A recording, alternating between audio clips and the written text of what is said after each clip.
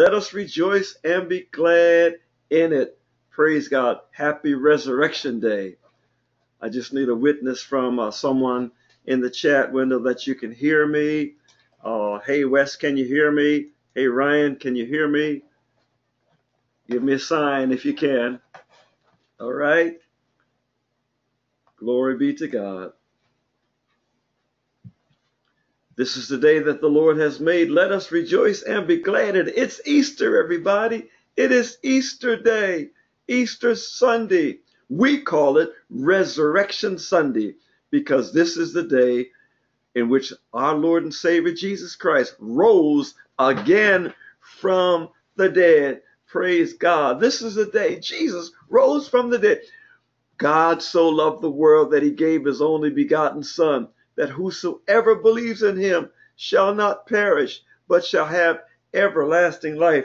Ladies and gentlemen, it does not matter who you are or what's going on in your life or what has happened to you. God loves you and he's already paid the price for your sins. He wants to have fellowship with you. The scripture says that you were fearfully and wonderfully made by him that you can worship him. And that is Psalm 139 14. So we want to welcome you all over this nation. We want to welcome our friends in other nations who are looking on live today. And we want to welcome all of you who will visit this ministry via the tape, the recording that we put online um, in a few more hours. But we just bless God. Thank God for this beautiful day. We're here in Lithonia, Georgia. Beautiful Lithonia, Georgia, where the pollen is kicking. The pollen is kicking. Eyes are itching, noses are running, but Jesus Christ is Lord. Hallelujah. So we pray that you will gather your family around today and for the next 45 minutes. Let's hear some word. Let's fellowship together. And then uh, let's rejoice in this day. This is the day. This is the day that the Lord has made, that the Lord has made. Let us rejoice. Let us rejoice and be glad in it, and be glad in it. Oh, this is the day that the Lord has made. Let us rejoice and be glad in it. Oh, this is the day. This is the day that the Lord has made. We praise God. We praise God. We thank God. Every day is a blessing.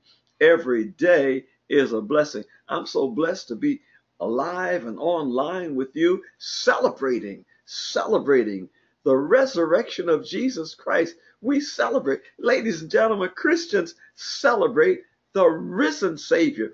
Our God is not dead. He's not in the grave. He is alive. Ladies and gentlemen, we are believers. We follow Jesus Christ. And we are so happy because our God died on the cross for us. He laid dead for three days. He arose on the third day with all power in his hands. The grave could not hold him. Death could not keep him. And he said to us, Behold, I give you the keys to the kingdom of God. Whatsoever you bind on earth shall be bound in heaven, and whatsoever you shall loose on earth shall be loosed in heaven. He's given us kingdom authority, exousia. He's given us power. So no matter what your situation is, no matter what your circumstances are, you have the victory. You might be broke, busted, and disgusted right now. You may not have money to pay your bills or to pay your rent. You may not have food. You may not have this or that, but you have Jesus. We give a shout out to Tammy Nichols in Ohio. We give a shout out to Matt Borland in Erie, Erie, Pennsylvania. We give a shout out to our friends in Kenya, Tanzania. We give a shout out to all of our friends all across America. We give a shout out to the Facebook family where you can come to church live on the Back to Basics uh, Ministries Incorporated page and get the Word of God. God is so much in love with us, and He wants all of us to have access to Him that He makes the online church possible for anyone who cannot make it to church, anyone who cannot attend church. Everybody does not attend the brick and mortar church, but God loves you so much, He has raised up ministries like this one to reach you wherever you are. You can approach us via iPad, iPhone, cell phone, or online. And we just bless God. You can also uh, get this ministry via the video. So God has made a way that no one needs to say, I can't go to church. I can't get the word. Yes, you can. We bring the word to you. The word of God is quick and powerful, sharper than any two edged sword, dividing even the bone and the marrow. Uh, the word of God is a discerner of the thoughts and intents of the heart. So there is no excuse for people not hearing the word. We want you to invite people whom you know who don't go to church. Uh, uh, to tune in to the online church every Sunday morning at 11 o'clock Eastern Time or Daylight Saving Time. We want to invite you to invite others. You see, the world is winding up. The world is winding up. We must preach this gospel. We must share the testimony of Jesus Christ with the world. Ladies and gentlemen, people are dying every day. Many are dying without a knowledge of Jesus Christ. Many are dying in their sinful conditions, and, and God wants people to turn to Him. Turn to Him. Turn while there is still time. Turn.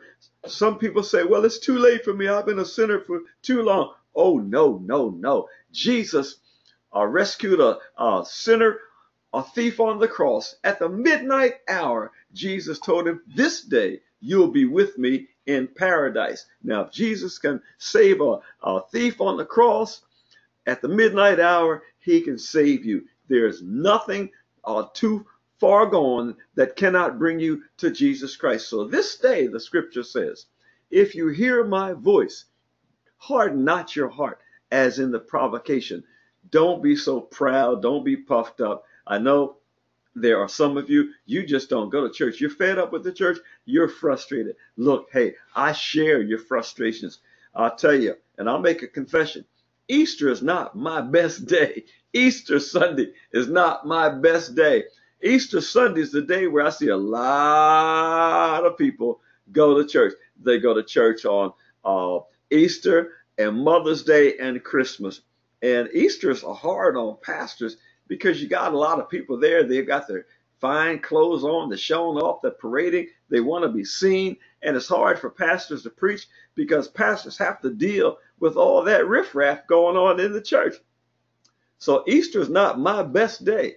Easter is the day where I've got to pray even more. I've got to pray even more to preach. I've got to pray that I preach with love in my heart. Ladies and gentlemen, I've seen over my over the years many people come to church on Easter and you don't see them again. You don't see them again until Christmas. They won't support you. They won't support the church. They won't tithe. They only call you when they need something. So Easter's not a good day for a lot of pastors. I struggle with Easter. I, I struggle. Lord, help me to walk in love. Lord God, help me to. And the Lord just delivered me this morning from that burden of Easter and the frustration that many pastors have. Uh, because we see people come to church who who don't know about church. They talk out loud. They on they're on their cell phones in church. They don't know uh, uh, how to conduct themselves in church, and church services are interrupted because people who don't know Jesus come because it's a religious thing. My mama went to church on Easter. My grandmama took me to church on Easter. And people come as though something magical is going to happen, as though if they show up, something magical is going to happen and they're going to be snatched from the life of sin and, and just change uh, in a magical moment. So we've got to love one another. And God delivered me. God said, Son, your job is not to change anybody in the church. You can't change a single person. You can't even make people go to church. He said, Your job is not to try to get as many likes on Facebook as you can. Your job is not to try to influence people. Your job is not to try to get them to like you or to come to church or to come to the online church. You just preach the gospel. Just preach the gospel and preach it with love in your heart. And so that's what I do. I preach the gospel and I, I let the Holy Spirit do his work. I'm not going to try to play God or play Holy Spirit, try to get you saved. I can't get you saved, but I can preach the word of God and tell you about God's love and show you the way. Because the word of God says, Thy word is a lamp unto my feet and a light unto my path. Thy word is a lamp unto my feet and a light and unto my path. So I'm going to show you the, the, the path. I will show you through the word of God the path that you must walk. And I've got to walk that same walk.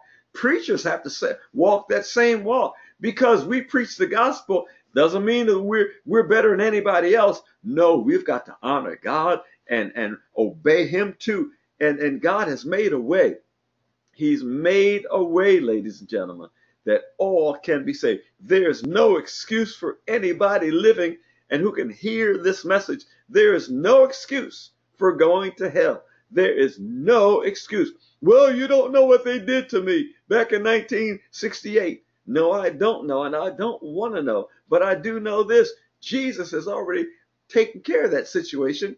And if you repent for bitterness in your heart and forgive those who hurt you, God will save you. So we praise God. We welcome you to the Worship Where I Am Church, the Back to Basics Ministries online church. We just call it the online church.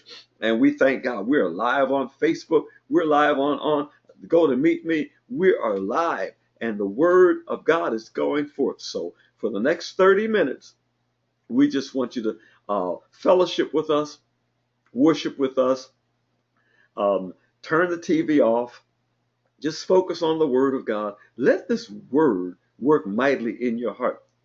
Let this word do wonders. See, God says his word will not return unto him void or empty. So I've got a message for you. I'm going to share it with you. And I trust the Holy Spirit. I trust the Holy Spirit to bless your heart. Father God, in the name of Jesus, we come before you this day. This is the day that we declare uh, Resurrection Day. We celebrate the resurrection of our Savior, Lord Jesus Christ. Now we know you're alive every day, Lord Jesus. You're alive forevermore.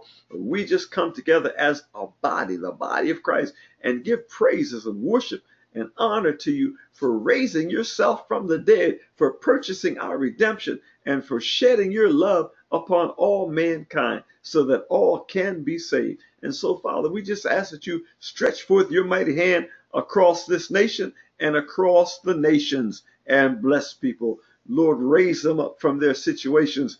Give them hope, Lord. Help them to put their trust in you. Save souls, God. Heal and deliver. Set people free. We know many people have issues and challenges, but we know that you have the answer. And so we present you to them, Lord Jesus, and we praise you and we thank you in Jesus' mighty name. Praise God. Praise God. Let the church say amen. Let the church say amen. Today we want to go back to Ezekiel chapter 37 that's where we were last week. Ezekiel chapter 37. We're just going to revisit Ezekiel 37. Then we're going to look at uh, Romans chapter 6. Oh, it's it's going to be a resurrection message, but it's not going to be your traditional resurrection message. I'm not going to turn to one of the gospels and and and and preach from the traditional message you hear from the gospels when Mary Magdalene and and the other women went to the tomb and found that it was empty. No, you've heard that story. But let's just take a different approach. Amen. Praise God. Let's take the approach that God has given us for the online church today. Let's return to Ezekiel chapter 37. And the word of God says, to summarize that word, Ezekiel was caught up in the Holy Ghost and God took him to the valley of dry bones. Uh, Ezekiel said, The hand of the Lord was upon me and carried me out in the spirit of the Lord and set me down in the midst of the valley, which was full of bones. Ladies and gentlemen, that valley was full of bones, dead bones, dry bones. They were very dry. They were very dead. And as we um, mentioned last week, these bones represented Israel the people of God. And then we went on to um, represent these bones, these dead bones, as being the church. The church in America, the church in England, the church in your nation. These dry bones represent the church. The church today is scattered all over America. We have all kinds of denominations, all kinds of approaches to Jesus. We got all kinds of pastors, all kinds of ministries. The church uh, uh, is is scattered. Very few people cooperate. There's a need for a spirit of cooperation among the, the church.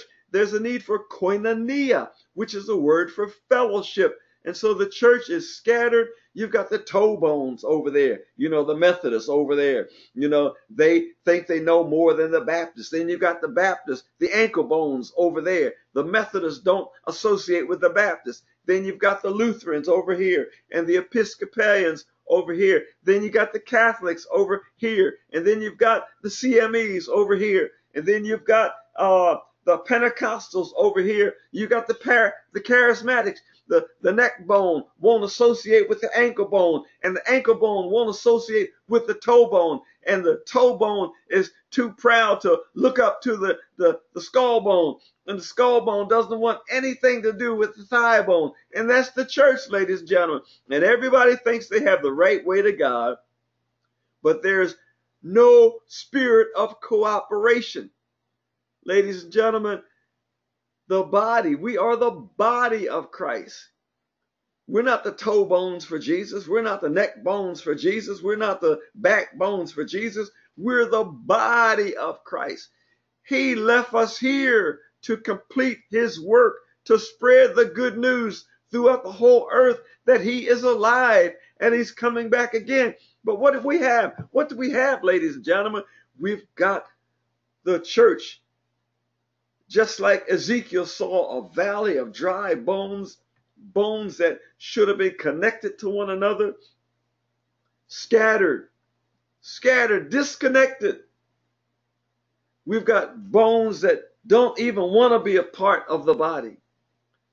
We've got uh, churches where if you walk in, people look at you and they look at you cockeyed and look at you that like you don't belong here. We don't want you here. We got the black church. We got the white church. We've got uh, uh, mistrust among blacks and whites. We've got the Hispanic church. We've got the uh, the Asian church. And, and, nobody wants to fellowship one another with one another because we don't trust one another. Uh, e- even there's hatred and, and lack of love among uh, people who call themselves Christians, the body of Christ. There should be no schism in the church. There should be no lack of love in the church. There should be no mistrust. But, ladies and gentlemen, realistically, there are pastors you can't trust. There are church members you can't trust. There, there are some pastors you can't even trust your children around them. There are some pastors you can't even trust your wife around them. Ladies and gentlemen, we're living in an age where people have taken their eyes off Jesus. People are playing church and they know how to do church. Oh, we had church today, they say. We had church or let's do church. Let's let's rock this joint, they say.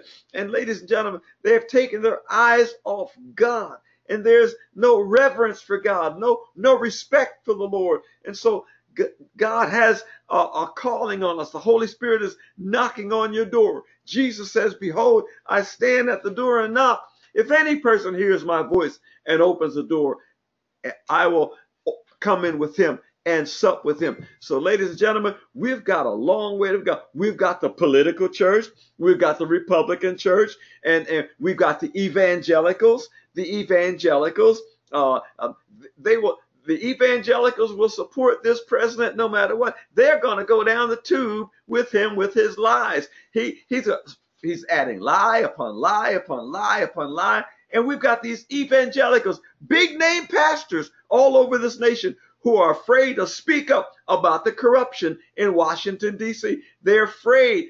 They're afraid. They want to be politically correct. Why? Because that dinero, dinero, the money, they want to be supported. They don't want to lose their, their, their support. But ladies and gentlemen, God is going to hold you evangelicals responsible for not preaching the gospel. God is going to hold you responsible for kissing up to the Republican Party or the Democratic Party. God is going to hold you responsible for being a wimp, for being a punk, and not saying what thus saith the Lord. And so, ladies and gentlemen, the church today is like what Ezekiel saw in the valley dry bones. The Baptists are over here, First Baptist, Second Baptist, Third Baptist. In, in San Francisco, I've got a friend, he pastors Fifth Baptist Church.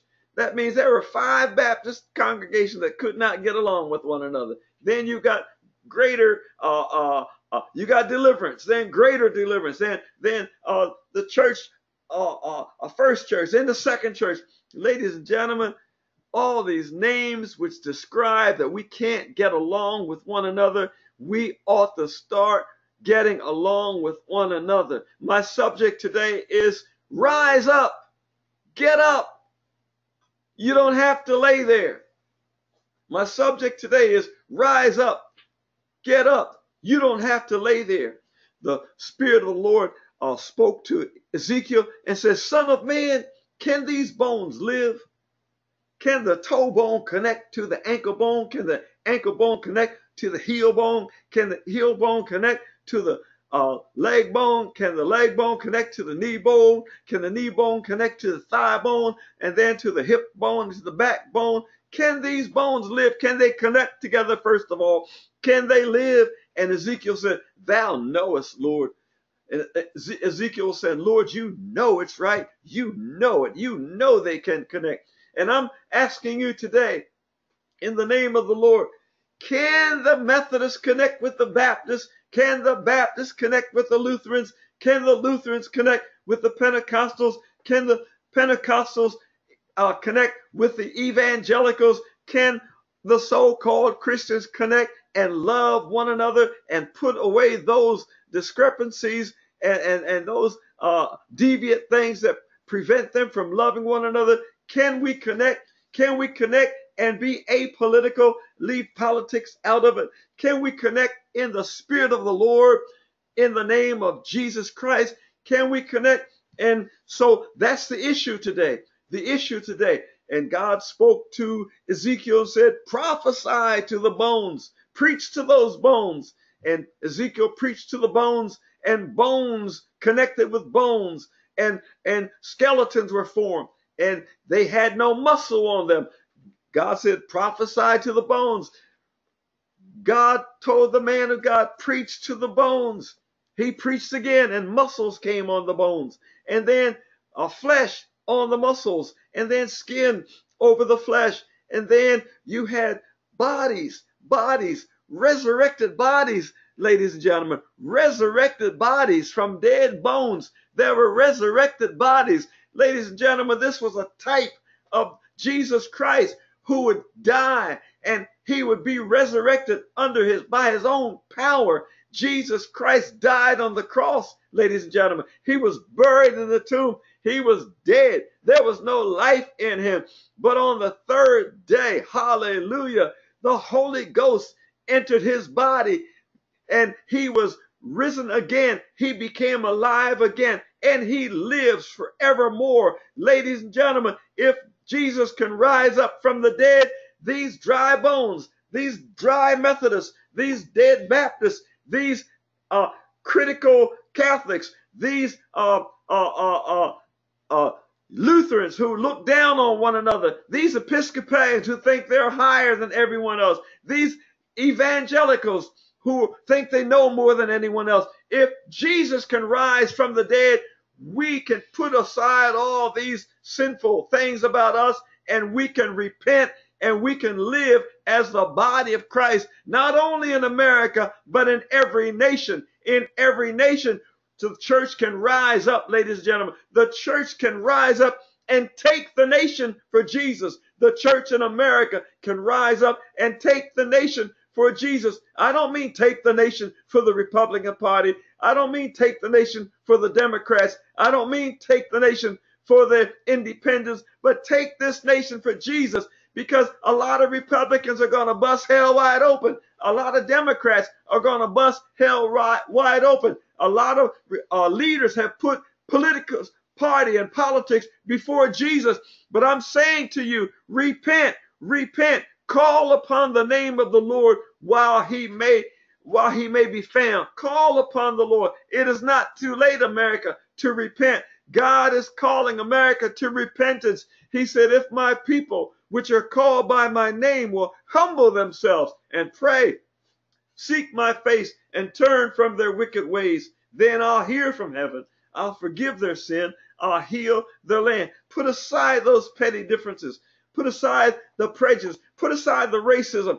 Ladies and gentlemen, I rarely hear, I very rarely hear a white preacher preach about racism. I very rarely hear a white preacher preach about racism. I very rarely hear a black preacher preach about racism. This racism thing is crippling the church. It's crippling the nation. This racism thing, white racism, black racism, we need to repent. How can you worship God and have racism in your heart? How can you worship God, say you love Jesus, and hate white people? How can you uh, uh, worship God and have a hatred against black people, ladies and gentlemen? And how can you call yourself a preacher? How can you call yourself a Christian if you're too scared to speak up against racism in your household and in your family and on your job? Ladies and gentlemen, if you're quiet, then you agree with it. If you're scared to open your mouth, then you agree with all the, the, the, the, all the ugliness that's going on around you. God is calling people to rise up. Rise up, get up. You don't have to lay there. You don't have to lay there and let your household be a racist household. You don't have to lay there and listen to your family talk about how they hate blacks or how they hate whites. You don't have to lay there and hear your family talk about hatred and how they can't stand this person or can't stand. You can rise up. You don't have to stay there. You can get up. You can move out. You don't have to lay there and be a part of it. But the sad thing is, if you lay there and say nothing, then you're in agreement. Well, I don't want to rock the boat. After all, I don't pay any rent here and I'm living here free. Oh, and in other words, you're going to go to hell with your family because you're afraid to stand up for Jesus. That is pathetic. Repent, repent. This day, the Lord said, if you hear my voice, don't harden your heart. Don't get mad at Pastor Carter because he's preaching. He's telling you what's right. Don't throw rocks at the postman. This day, if you hear my voice, harden not your heart. This day, let this day be the day you're going to stop being a racist. Let, let this day be the day you're going to stop hating black people. Let this day be the day you're going to stop hating white people. Let this day be the day you're going to stop hating Republicans. Let this day be the day you're going to stop hating Democrats. Let this day be the day you're going to let love flow from your heart. Let this day be the day you're going to call on the name of Jesus and receive the Holy Ghost and ask the Holy Spirit to come into your life and help you to rise up to where you ought to be. Let this day be the day you're going to get up from out of your pit of anger, frustration, and bitterness. All across this nation and the nations, there are bitter people, angry people, mean people, they can't say anything good about anybody.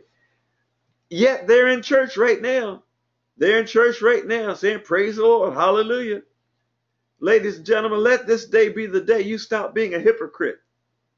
Let this day be the day you get real for Jesus. Let this day be the day you're going to ask the Lord to help you to walk in love. Let this day be the day you put away all bitterness and hatred and anger. Let this day be the day you connect with Jesus through the Holy Spirit and say, Lord, I repent. Lord, I repent. Let this day be the day you confess bitterness in your heart. Lord, I've been carrying bitterness in my heart towards white people or towards black people or towards cops.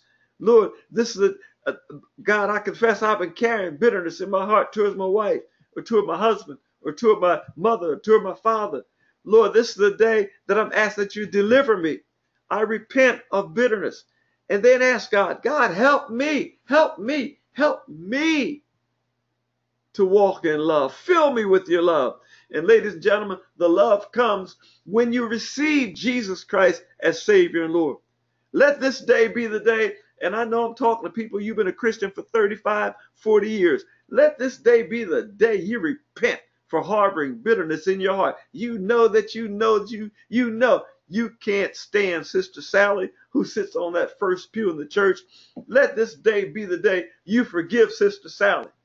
Let this day be the day that you forgive her family. Let this day be the day you forgive the president. Let this day be the day you forgive the congressman. Let this day be the day you forgive yourself. Let this day be the day you forgive the man who stole your wife. Let this day be the day you forgive the drug dealer who stole your child. Let this day be the day you forgive and say, I'm going to walk in love and I'm going to trust the Holy Spirit to breathe on me and fill me with his presence. Let's go back to that valley of dry bones. God said, Son of man, can these bones live? And the bones had connected.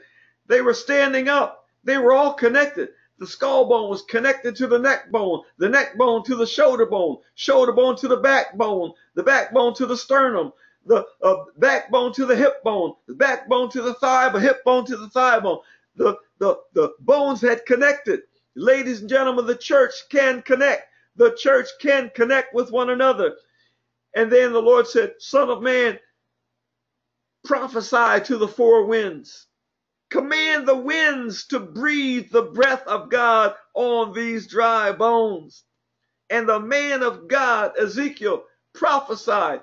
He preached to the winds and commanded the winds to breathe the Spirit of God upon the dry bones. And God's Spirit entered those dry bones and those bodies came alive. According to scripture those bodies came alive into a mighty army of God. Hallelujah. A mighty army of God. And I say to you today wherever you are prophesy prophesy to the church prophesy to the dry bones prophesy to the Baptists prophesy to the Methodists prophesy to the independents prophesy to the Catholics prophesy to uh, the, the evangelicals, prophesy to the White House, prophesy to your own house, and say, Dry bones, I command that you live in the name of Jesus. Call the breath of God. Call the breath of God. Command the breath of God to breathe on these dry bones. If if these dry bones claim to be Christians, then they ought to be filled with the Holy Ghost. The Bible says, and be not drunk with wine, in which is excess, but be filled with the Holy Ghost. Ladies and gentlemen, you and I have kingdom authority. We have kingdom authority.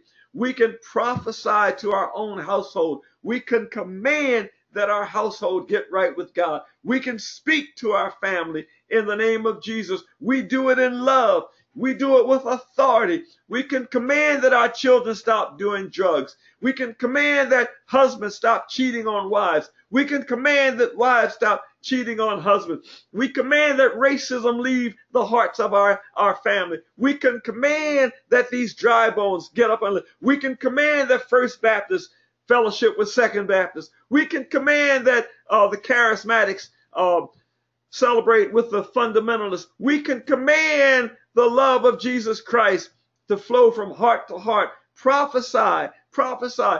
Ladies and gentlemen, some of these preachers are preaching their own sermons, their own ideas, their own essays. Preach the word of God, preacher. Preach the word of God. Don't be afraid to preach the word of God. Well, some, well, Pastor, you know, they pay my, my salary. They don't want me to preach about adultery. Well, punk, you ought to get out of the pulpit. You ought to quit. You ought to get out of the pulpit. You're just a punk. Get out of the pulpit. Preach what God gives you to preach and be bold. Be bold in the Lord. Ladies and gentlemen, we've got to give an account to God. We've got to give an account for God. Did you do what I sent you to do? Did you preach what I called you to preach? Did you say to your family what I told you to say to them? Oh, but I was afraid. Well, ladies and gentlemen, I don't want to have to face God and say, uh, I was afraid to preach to him, Lord, because the Lord's going to say, Depart from me. I never knew you. Depart from me. I never knew you. But preacher, you don't know how much money I give to my church. Depart from me. I never knew you. Obey the Lord. You don't have to be a dry bone sitting up in a dead church listening to your preacher talk about blacks. You don't have to sit up in a church like some some people in throughout America uh, prior to the last election, listening to their pastor call Obama the Antichrist. You could have gotten up out of there. Now you're stuck. You're stuck with that pastor.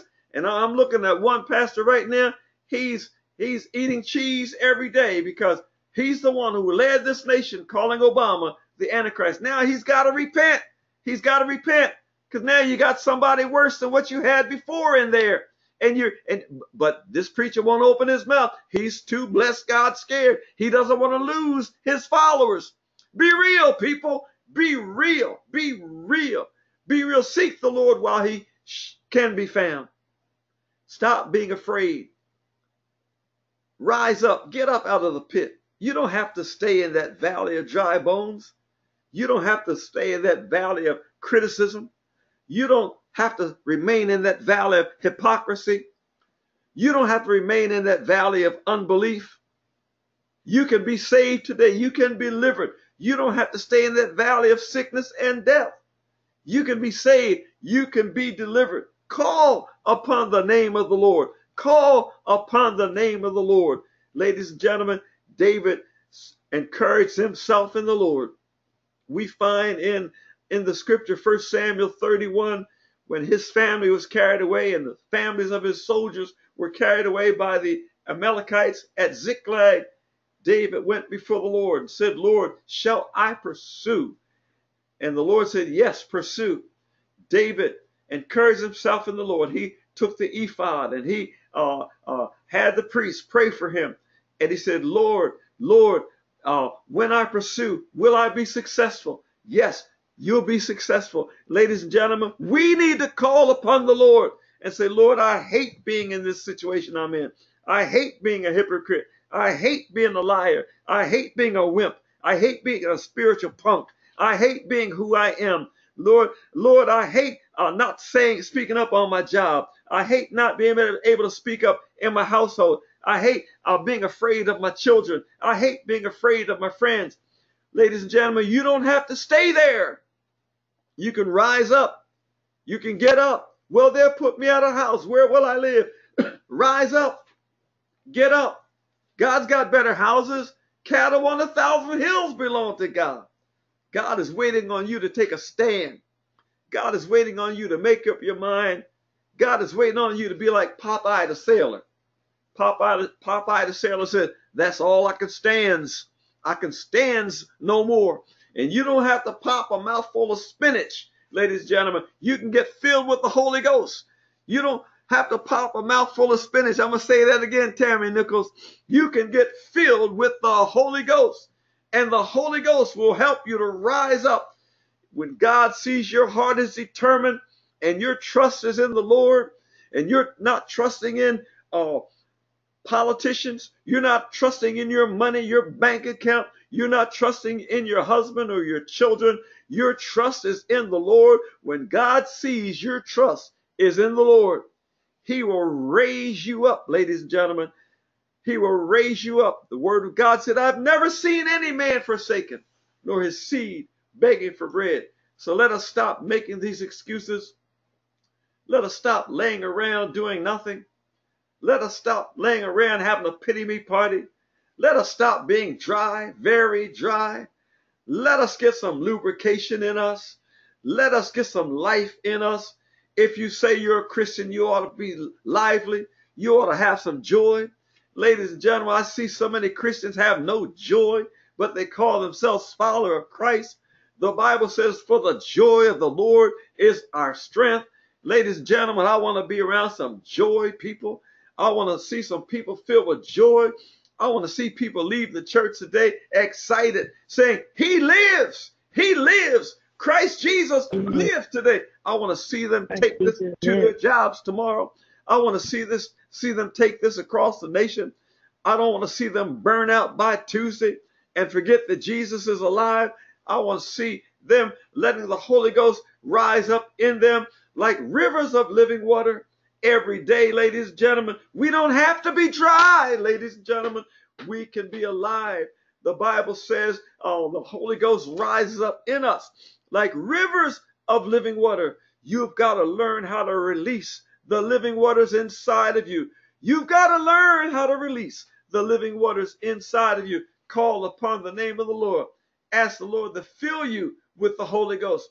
So many Christians are ignorant of the Holy Ghost. Well, read uh, 1 Corinthians chapter 12, 13 to 14. Read and study that word. Read what Galatians has to say about the Holy Spirit. Then be filled. Read Acts chapter 2, Acts chapter 3, Acts chapter 4, how the apostles went uh, not in their own power, but in the power of the Holy Ghost. Read the Bible and appropriate it to yourself and call upon the name of the Lord. Ask the Holy Spirit to come and take up residence in you. Fill me, Holy Ghost. Fill me, Holy Ghost. Fill me, Holy Ghost. Learn how to mortify the deeds of the flesh and to trust in the Holy Spirit. Learn how to get the word of God in you. And when it comes time for you to speak, you'll speak God's word. You'll put, God's word on that situation. And in the name of Jesus, demons will flee. Demons will flee when you put the word of God on your household. Demons will flee when you take the word of God on your job. Oh, I feel good. I feel good. I feel good. When you let the Holy Spirit rise up in you, Facebook family, let the Holy Ghost rise up in you. You can have the Holy Ghost in you. You can have the power of God Hallelujah. God is no respecter of persons. He wants all his people to be filled with the Holy Spirit. You can walk in victory. You can walk in victory. Jesus got up from the dead. He got up from the dead, ladies and gentlemen. He rose from the dead. He said, All power is in my hands. All power is in my hands. He said, I give you the keys to the kingdom. Then, when we turn over to Romans chapter 6, Romans chapter 6. Here's a word for you who, who are, are, are still committing sin, still living in adultery, still living in homosexuality, still living in lesbianism, still cheating, still lying, still drinking, still smoking reefer, still popping pills, hooked on uh uh, uh, uh, uh, pills, hooked on somebody else's wife, hooked on money. You can be delivered. You can be delivered. The scripture says in Romans chapter 6, what shall we say then? Shall we continue in sin that grace may abound? God forbid. How shall we that are dead to sin continue any longer in it? Ladies and gentlemen, God challenges you with your word. How can we Christians who are dead to sin continue to live in sin? The Bible says in, in uh, Ephesians, thou art without, without Romans, thou art without excuse. Oh man, thou art inexcusable. There's no excuse for continuing to live in sin. You can rise up. You can get up out of it. You can leave it. You don't have to lay there. You don't have to be a prisoner to somebody's wife. You don't have to be a prisoner to some preacher. You don't have to be a prisoner to money. You don't have to be a prisoner in your own household. You can rise up, ladies and gentlemen. You can rise up, ladies and gentlemen you can rise up. Greater is he in us than he that's in the world. That's what the word says in First John. Greater is he in us than he that's in the world. Call on the name of the Lord. Call on the Holy Ghost. You say you're a Christian, call on the power. Get filled with the power. Stop being a Christian wimp. Stop going around uh, letting every wind that blows blow you off course. Stop uh, being a, a victim of, of everything the devil sends down the road. You don't have to buy his package. You can take authority over him. Jesus has given you exousia. He's given you authority. He rose from the dead with all power in his hands, ladies and gentlemen. Demons tremble at the name of Jesus. And God has given that same power to us. Jesus has given us this same authority. Romans 6 4 says that as Christ was raised up from the dead, even so ought we to walk in newness of life. As Christ was raised up from the dead by the glory of the Father, even so ought we to walk in newness of life. You can walk in newness of life. You can be changed today in the twinkling of an eye. Your situation can change overnight. It's all contingent upon your attitude. We walk by faith, not by sight. Some of you say, well, I'll never get out of this. No way, you just sealed your own doom. But if you change what you say, you change what you say and let your words speak life. I'm getting out of this because I'm going to trust in the Lord. I put my trust in the Lord. I'm getting out of this dead church. I'm going to find a place where Jesus Christ is glorified. I'm going to find a church where uh, saints are edifying one another. I'm going to go where the word is live. I'm going to go where the Holy Ghost is in operation. I'm going to get baptized in the Holy Ghost. I'm going to learn how to operate in the gifts of the Spirit. I'm not going to be afraid of the Holy Ghost. I know Jesus sent him to help me. And so I welcome you, Holy Spirit. Come in. Breathe on me, God. Breathe on me, God. I confess I'm a dry bone. Breathe on me. I command the four winds to blow the breath of God on me. In the name of Jesus, I speak to you. Everyone under the sound of my voice, I speak this to you. In the name of Jesus, rise up. Rise up. Get up from where you are. I command that your bodies be healed. I command that you be delivered in the name of Jesus. Oh God, breathe your breath upon every listener in the name of Jesus. I prophesy to every dry bone under the sound of my voice. Breathe on them. Holy Ghost, fill them, fill them, and at the same time, fill me again, fill me again, fill us with your spirit, Lord God, that we may rise up and be the people of God you're calling for in these last and evil days. Father, we praise you. Holy Spirit, we honor you. We receive you by faith we receive you by faith. We expect, we expect you to do wonders in our lives. Praise God. We expect you to fill us, rise up in us like rivers of living water. Praise God. We expect our bodies to be healed. We expect to, demons to be cast out in the name of Jesus. We're expecting God because our trust is in Jesus Christ in the name of Jesus. We serve a risen Savior. He's in the world today. I know that he is risen, no matter what people say. Hallelujah. He lives. He lives. He lives. We don't serve a dead God. Our God is alive, and he's alive in us. Hallelujah. Oh God, I speak life into myself. I speak life into your people. Life comes from you, Lord Jesus. You said, I'm come that we might have life, that we might have it abundantly.